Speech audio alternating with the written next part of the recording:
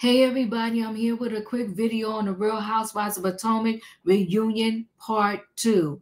And honey, let me, well, before I get into this, let me say this. If you want to see my whole full recap on reunion part two, join me tomorrow night on my channel, 8 p.m. Eastern Standard Time, and we will be doing the full recap. But I had to come here really quickly because tonight I had to sit up on my couch. I was laying back just watching, dealing with the nonsense, the gaslighting. The line kept moving, as Candiace like to say. And I was like, here we go with the nonsense. But then I had to sit up. Oh, yeah. I had to sit up when the husbands got on the stage. Because tonight we had an MVP in the building, most valuable player. And yeah, that was Candiace's husband, Chris. Uh huh. Chris showed up showed out, shut it down to the point where Andy didn't even know what to say. So Robyn had the nerve. How do you have the nerve to question somebody else's husband when your husband didn't even show up?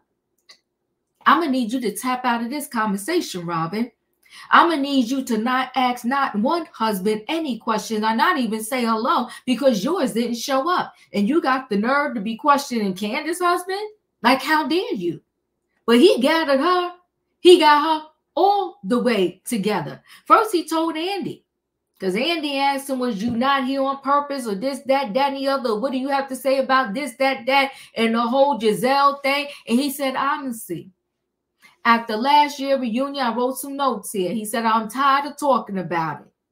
I haven't talked about it. He said, I haven't tweeted about anything. And he said, I don't really give a F. Yeah, he came there on ready. Mm-hmm. Then here comes Robyn. Robyn wanted to ask about this mistress, about the girl, and so forth and so on. She on question Juan, but she, I mean, uh, uh, uh, uh, Chris, but she ain't question Juan. She believed her own husband. And there's pictures and all of that of him at the laundromat, and he said himself he went down to pay somebody hotel bill. You trust him and got no questions for him, but you want to question Chris? You got the nerve. So he said, No, I never met the person.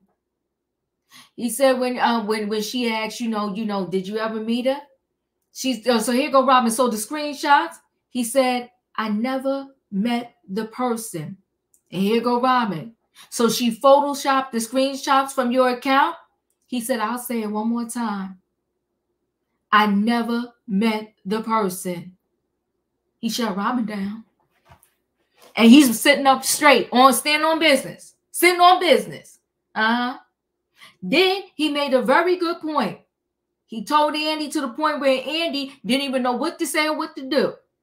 He said, It's funny how you got a person who could say they used the wrong words and all is well, and we're gonna move on for that, and that person never gets questioned again. And Gizelle knew he was talking about her.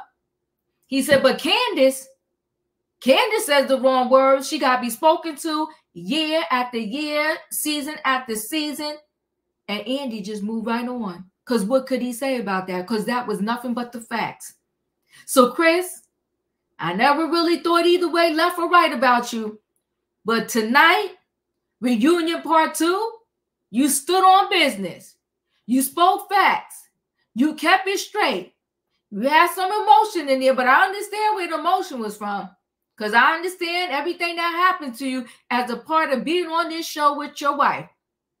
But tonight you showed up and showed out. And you get an A plus from the diva. Uh-huh. Most valuable player. If it wasn't for you, reunion part two would have been a bunch of nothing. But you came through, showed up, and shut it down.